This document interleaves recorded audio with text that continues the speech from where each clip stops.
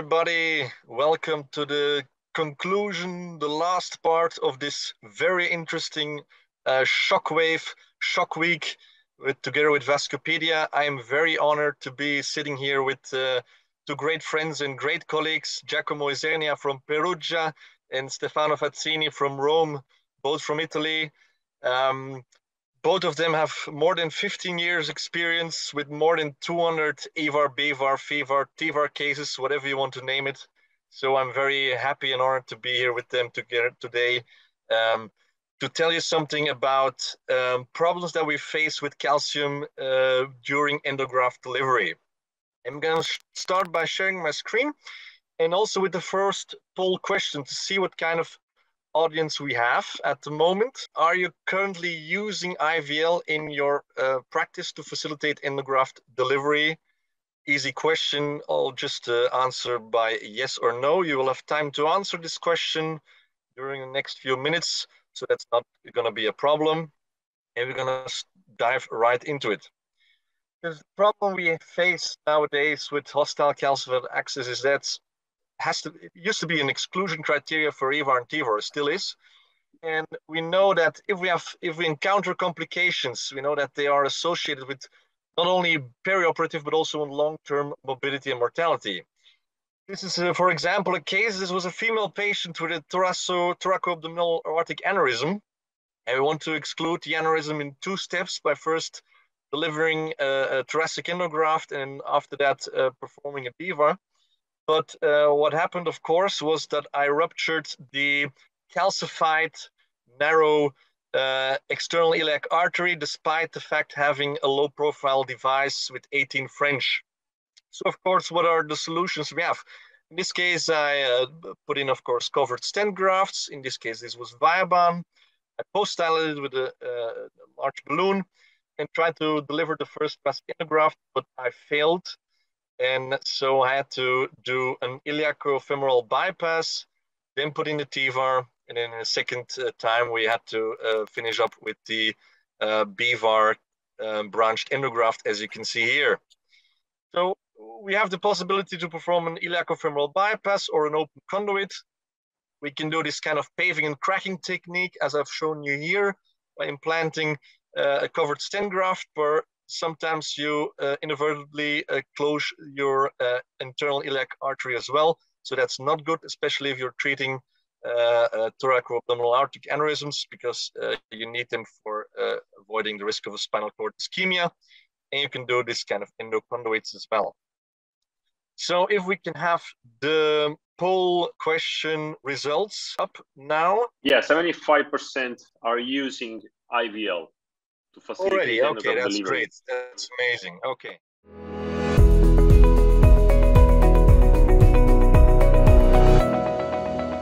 Uh, An arch aneurysm six centimeter. We planned a stage procedure with carotid subclavian bypass and TEVAR in this case, patient are the, are the availability uh, and uh, the best for, for the patient. We choose the Bolton relay pliers that is uh, 25 French outer diameter, means uh, more than 8.2 millimeters.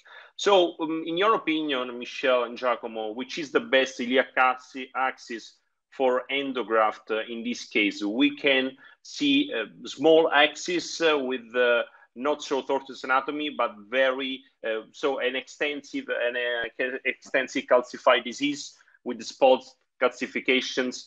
But uh, I would like to have your answer after the first angiogram, uh, because of course it was not so uh, heavily calcified one side or the other side. So we prefer to start with a simple angiogram. And what do you think? Which is the best iliac axis? To be honest, both sides look like a disaster. yes, but probably the left is a little bit better than the other, but of course it is not very nice both. Uh, right, Giacomo, I, I, totally agree with you, fully agree, because if we take a look of the uh, calibrated catheter, we can observe that probably the right external was less than four millimeters, and also the left external was not so uh, big. But uh, we, yeah, uh, we agree, and we choose the left one uh, there, there is a sort of vessel analysis, but so this is not a clear recommendation, but uh, we can observe how was the volume of this calcium. We have this uh, 4.6 millimeter of minimum lumen diameter, uh, but we have no clear recommendation for iliac axis. So we can consider it as moderate because it is less than 180 degrees, but also moderate severe looking at other classification because we have calcium on both sides of the artery. So it is a problem for the compliance. And we should consider many other things uh, in the iliac ostaliac axis. So the minimum lumen diameter, the most important, above all for concentric lesion, the reference vessel diameter is, uh, of course, important to choose uh, uh, our endograft and also to uh, size the IVL the length of the lesion and the size of the lesion. In many cases, like in the case from Giacomo, we have the lesion, at the aortic bifurcation, but it's very important the proximal external, the external, because the external usually is the, the smaller vessel. And uh, in this location, we have small vessel, uh, not heavily calcified probably, uh, because we can look also worse lesion, but with, with large profile. So we every time we should match these two things. So the device and our vessel. So a vessel, large profile, 25 French. In this case, the profile was 80% uh, larger than the minimum lumen diameter. So three simple steps. Choose the best iliac axis, focus on the worst lesion, in this case, middle, the mid external on the left, and compare your lesion with the best device that you could, of course, uh, uh, have available. In this case, of course, we are speaking about thoracic graft. So we don't have a really ultra low profile graft. So if you take a look of the angiogram, 11 French, this was 11 French, you can admit that this angiogram uh, is, uh, is describing us that probably this external was uh, four millimeters. We tried, of course, the Dottering technique, so go with uh, increasing diameter dilators, but we were not, not able. This was the first experience with the IVL uh, almost two years ago. Uh, IVL uh, M5, it was uh, the, the previous um, catheter. This was the first cycle you can observe how the dilatation was um, very good. After six cycle, observe how it changed the vessel. So really incredible, the luminal gain, but it was incredible to cross, uh, of course, without pu pushing a lot, to cross the lesion, of course, by using the, uh, again, the increased uh, uh, dilators, uh, we crossed with the 20 French uh, outer diameter. We treated this patient at the aortic, at the aortic arch, but I, I would like to show you the postoperative angiogram. So the angiogram was uh, really good without any signs of dissection, but above all, this kind of uh, postoperative CT scan, again, we had no dissection, we had no bailout stenting, and we have an increased luminal gain uh, Uh, and this uh, sort of uh, new uh, conformation, conformability of this uh, structure, changing the structure of the calcium, we could achieve these results and have a safe procedure.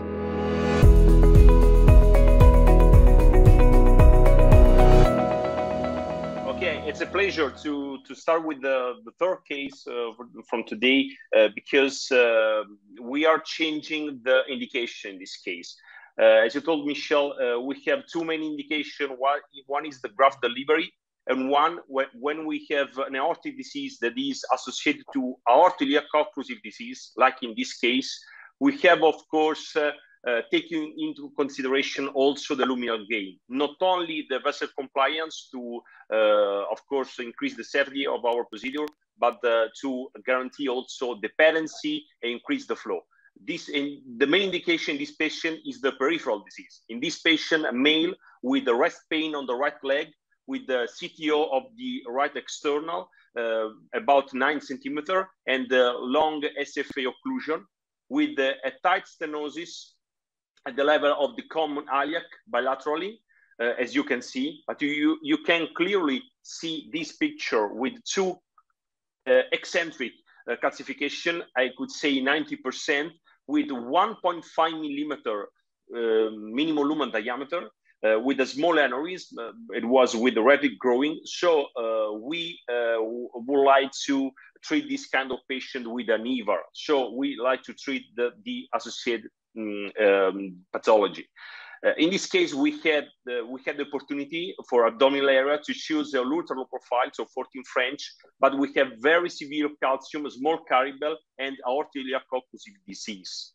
In case of female, we have also very smaller uh, ca caliber.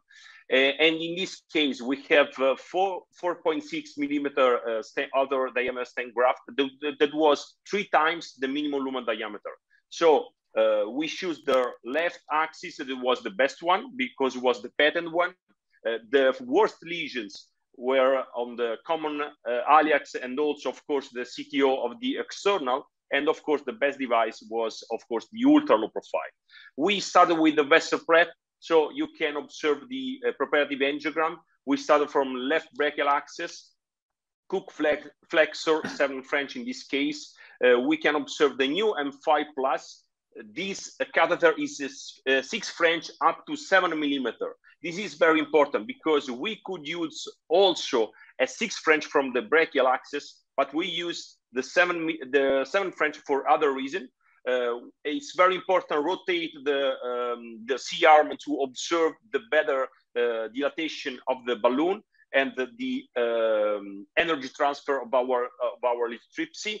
Uh, and uh, you can observe very smooth transition uh, with a gentle uh, with a gentle crossing of the main lesion uh, uh, on the left side with this ultra low profile graft and the proximal common iliac artery. You can observe now with the slow crossing. We can observe this gentle maneuver that of course is very important to avoid any dissection, any rupture for our patient.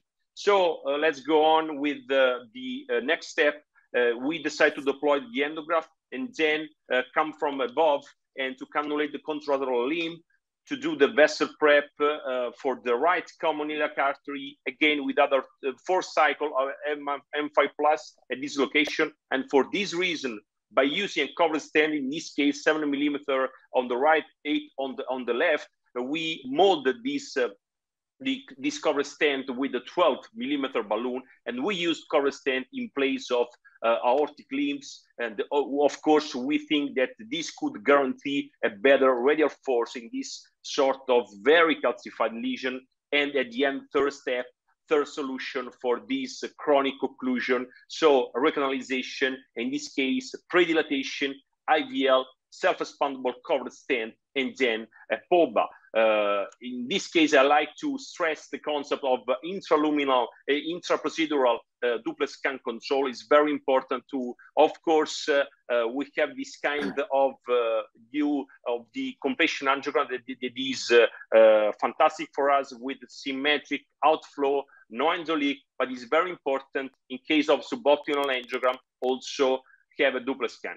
Um, this is the comparison between pre-op and post-op uh, angiograms with the AB index that increased from 0.3 to 0.7 uh, on the right side where the SFA was uh, occluded. We closed the procedure with a gentle PTA or depogastric. This is very important uh, in all patients, above all for peripheral disease, and we can observe the luminal gain that we achieved and also the luminal gain that we achieved here on the external. So how uh, we crack the calcium, we don't modi we modify the structure of the calcium. We can observe the bolus rendering with a uh, with a, a, better luminal gain, with a better compliance. And again, I like to show the comparison between pre-op uh, duplex scan with a monophasic flow and the triphasic flow on the postoperative CT scan, uh, on the postoperative duplex scan is very important because this is not, this is uh, something that we, we can use uh, during the procedure to check uh, the the results, and of course also for mid and long term outcomes is very useful. Thank you.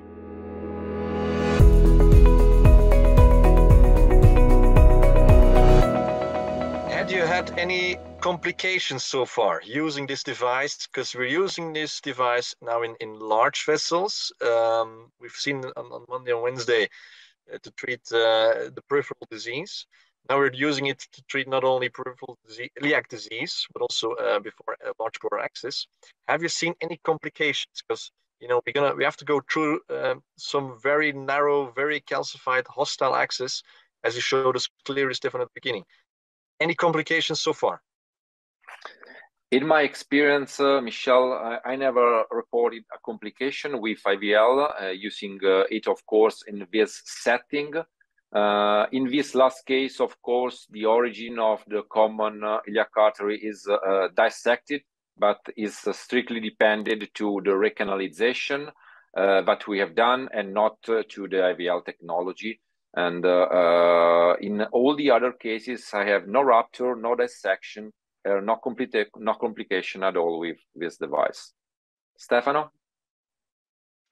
Yeah, the same for me. Uh, I had no complication. Uh, yeah, no rupture, no dissection, and uh, just in one case, uh, probably the second of our uh, uh, experience, we we needed the paving and cracking after the IVL. So in another very in a female thoracic endograft with a small uh, external. So uh, probably was the only uh, paving cracking afterwards.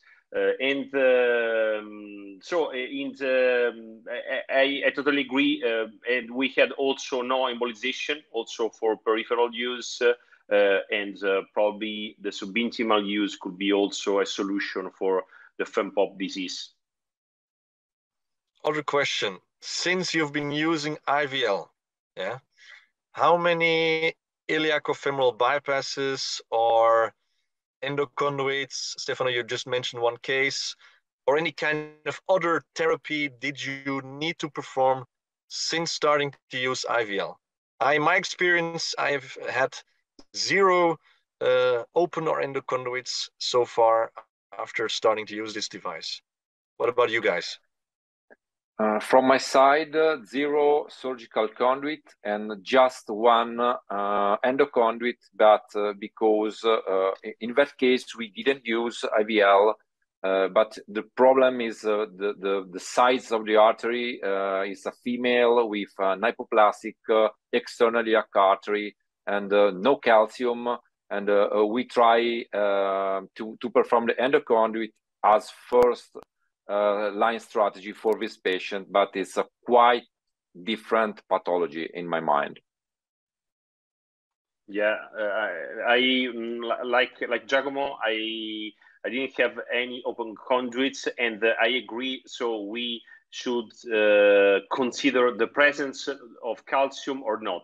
So uh, we could have also uh, women, for example, with with small access but without calcium. So it's totally different story. So in this case, uh, we cannot solve anything with the with the IVL. So we should use IVL in presence of severe calcification.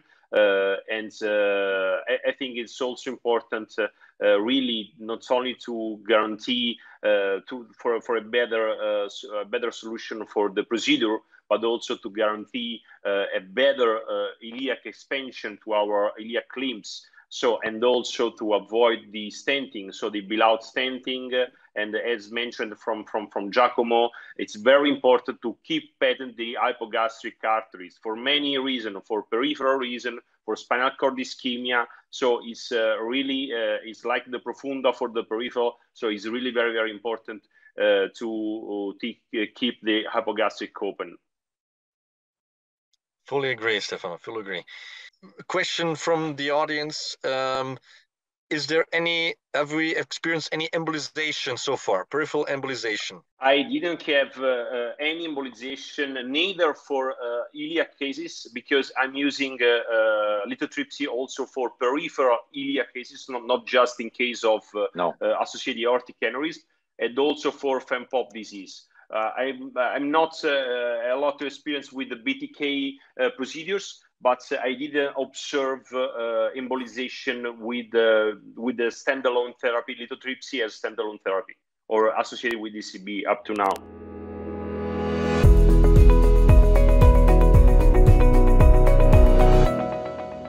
Michel, probably we are uh, abusing uh, uh, the term of game changer. So we know how, how many, many physicians are using this term.